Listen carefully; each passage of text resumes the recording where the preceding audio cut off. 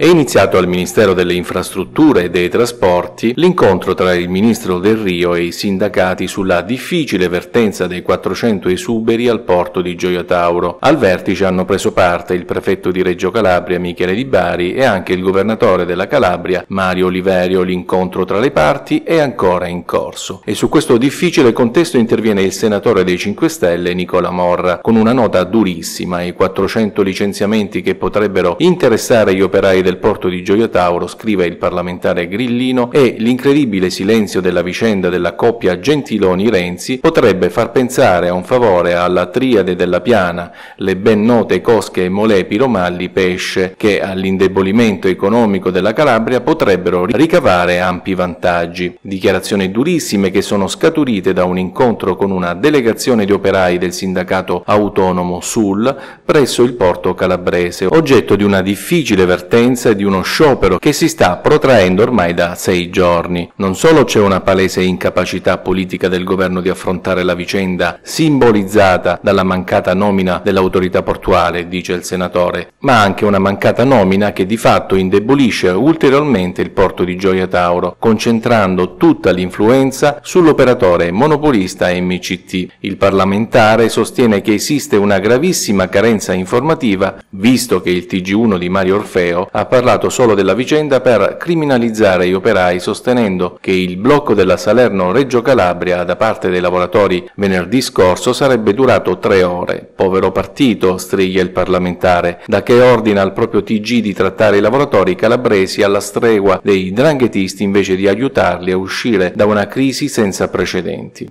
Nel frattempo i lavoratori del porto di Gioia Tauro hanno rivolto un appello alle istituzioni e a Papa Francesco affinché vengano tutelati 400 posti di lavoro a rischio, una situazione, quella della struttura calabrese, che da tempo preoccupa i lavoratori e le loro famiglie e che non accenna a risolversi. La loro richiesta d'aiuto è stata raccontata dal mass mediologo Klaus Davi che in collaborazione con diversi sindacati come la CGL, la CISL, la Will Trasporti, l'UGL Mare e il Sul ha realizzato un video che sarà parte di un documentario in cui si racconta la vertenza che vede contrapposta l'azienda MCT e gli operai e potrebbe culminare con centinaia di licenziamenti.